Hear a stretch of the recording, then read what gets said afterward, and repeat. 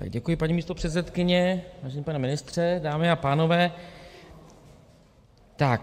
já jsem rád, upřímně, že to tady je, protože tohleto spadá do té sekce ochrany spotřebitele, já jsem po té novele zákona o elektronických komunikacích volal tuším rok a půl, dva, to se schválně podívám v telefonu, kdy jsem o tom mluvil s panem ministrem Síkelou tedy, protože vlastně o co tady jde: jde o to, aby ty spory vycházející z řekněme služeb elektronické komunikace, ale já to za chvilku vám tady popíšu, kam nespadá jenom to telefonování, esemeskování a podobně, tak aby se to řešilo na jednom místě.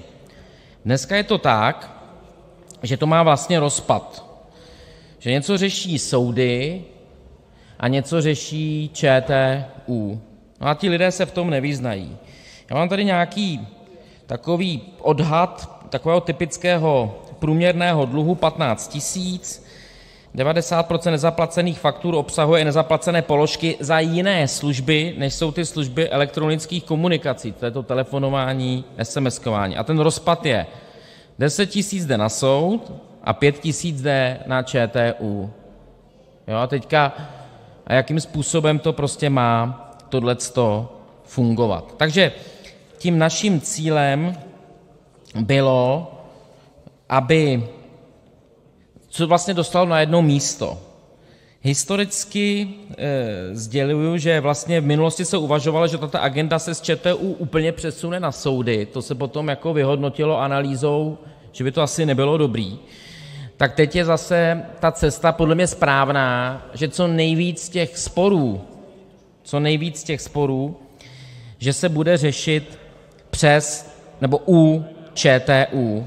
Typicky jsou to, já mám tady takovou tabulku, položky, u kterých se navrhuje to dát do gesce ČTÚ, to jsou fakt jako věci, to ani nevíte všechno, co se platí: TV archiv, instalace zařízení, zřízení přípojky, aktivační poplatek a tak dále, a pak jsou položky, kde to není, ale kde by to právě býti mohlo: prémiové esemesky, ememesky, dárcové esemesky, platební transakce, pojištění, melodie a tak dále a tak dále.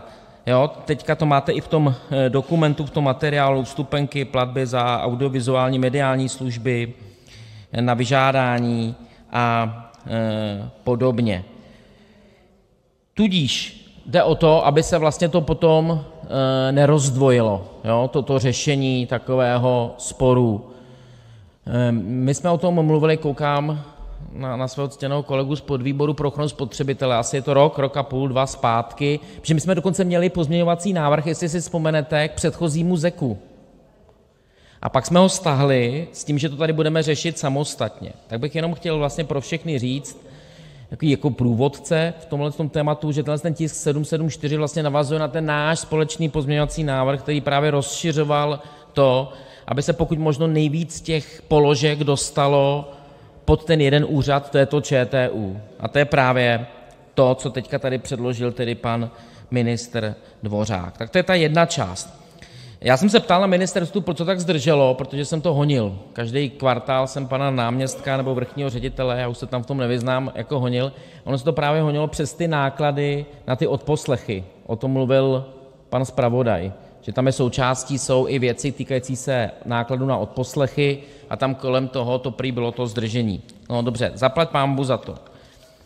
Co je tam dál, a to bych já ale chtěl, abychom si ve druhém čtení v rámci nějaké odborné debaty projednali, jestli můžu poprosit o pozornost, to je ta problematika telemarketingu a těch telemarketingových šmejdů, kde my jsme to v předchozím návrhu zpřísnili, jestli si vzpomenete, z toho optoutu, kde vám ty firmy navolávají, a vy když nechcete, tak se musíte proaktivně odhlásit do toho optinu, že je to prostě zakázané, to navolávání, a když to někomu nevadí, tak se musí proaktivně přihlásit. Neplatí to u firem, kde už tu smlouvu nějakou máte, samozřejmě, logicky, máte tam smlouvu, tak vám někdo z té firmy zavolá, že má nějakou novou nabídku.